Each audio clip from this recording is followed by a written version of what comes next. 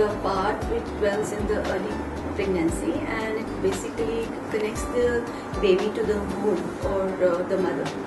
Mm, It, uh, its function is to supply nutrition in the form of blood to the baby. Now, normally the situation of placenta is in the upper segment of the uterus, and that is doesn't cause any problem uh, usually. But uh, when the uh, placenta is lying in the lower segment of the uterus, then the placenta is uh, bound, bound to, or sometimes it gets separated from the wall of the uterus, and it uh, um, manifests in the form of bleeding uh, during early pregnancy or whatever time of the gestation. Uh, this is uh, a serious condition, and usually the patient, whenever she sees any spotting or anything, she should reach the doctor immediately.